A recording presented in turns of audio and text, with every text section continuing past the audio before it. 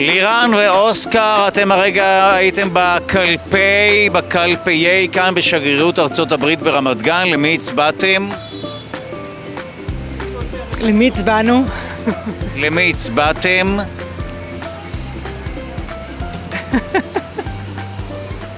We are here, uh, יום הבחירות, uh, כמה אנשים הצביעו עד כה?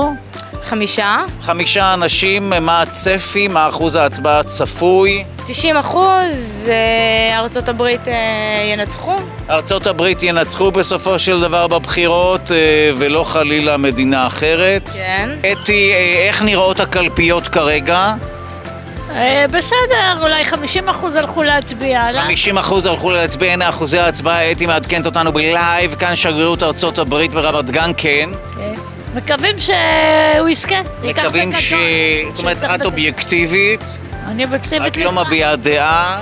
אני חועצת שטראמפ ייבחר. טראמפ, אבל את אובייקטיבית, את לא רוצה להשפיע על הציבור, אני רוצה להשפיע על לא הציבור. לעשות תעמולה אסורה. אני בעד טראמפ, לא יעזור שום דבר. אני מודה לך על האמביוולנטיות שאת נמצאת בה. יש הטוענים שטראמפ עדיף לנו, ואתה אומר לא, קמלה האריס עדיפה.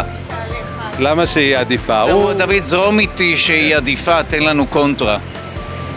אבל היא לא עדיפה. קמלה או האריס? אני חושבת קמילה.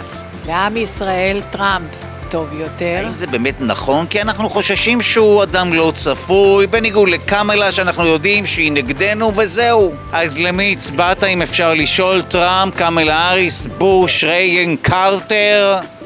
קרטר יימח שמו, לסיום, אה, שיר לנו שיר שקשור לבחירות אה, ארצות הברית. אתה מכיר שיר באנגלית, אברהם? לא, איזה שירים אתה מכיר?